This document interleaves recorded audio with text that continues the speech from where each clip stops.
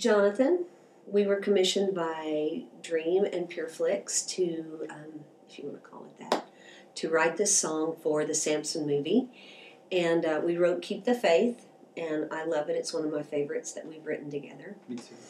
Um, I know you had like certain things in mind whenever you were getting ready to write this song, and um, we had a brief conversation about it. Tell me a little bit about the process of what you went through to get the musical portion. So um, when we were thinking about Samson, we were just thinking big, big drums, big chorus. I know we spoke about it, and uh, when we started writing the song, I just kept feeling this certain beat. So if you really listen to the song, it's got a big, big groove, Mm-hmm. which I love. And then of course you added your huge vocals over it. And, uh, it worked out really well. I'm really excited about it, and uh, I think it captures, I think what the essence of Samson was. Yeah.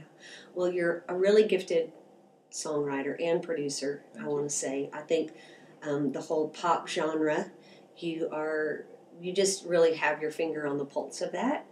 And as a drummer, I, I know, I mean, when I ask you, you know, or we actually talked about it and we were talking about just the feel of the song, I knew that you would get what needed to happen because you're such a phenomenal drummer. And you, I mean, you know, we experience it every week at Lakewood, what you add to the worship, and it's amazing. But um, I love that it just has this power.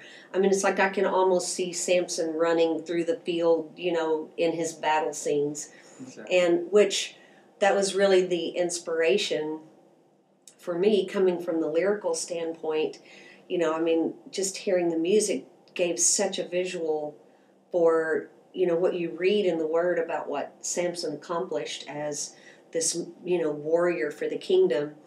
And um, i think it really mirrors our walk with the lord you know day to day. We have that um, battle you know even this weekend you know just being transparent was a battle for me just emotionally and spiritually leading worship you know. And sometimes we face those things in our lives and you don't really know how to rectify it but the lord gives you the strength you know just to keep at it and keep the faith. And um, it's uh, such an encouragement to me you know that a lot of times the lord gives us what we need before we even need it you know? And um, this song has really been an encouragement to me. Just you know i love that scripture that says having done all to stand you just continue to stand and um, you just did a great job getting the music together. The production was fantastic and i can't wait to see how all of this comes together with you know what pureflix and dream are doing. It's going to be exciting to see in the next few months what happens with it. But thank you for lending your musical brilliance. Well, it wasn't just me. You know, Cindy, she's an incredible writer, and uh, even melodies, just everything, vocalist. And it was really easy writing this song. And I know we thought about redemption with the song as well.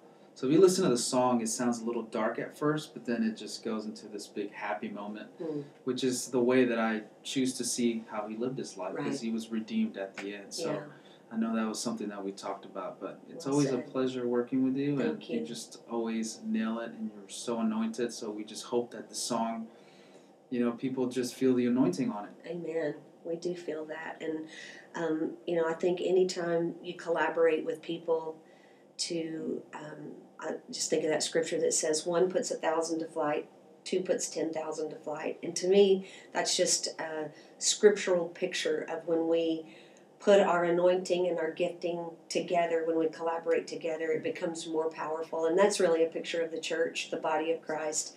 Right. When we join together to do something for the kingdom, it's always more powerful. So thank you. Thank you. Thank you, Pureflix.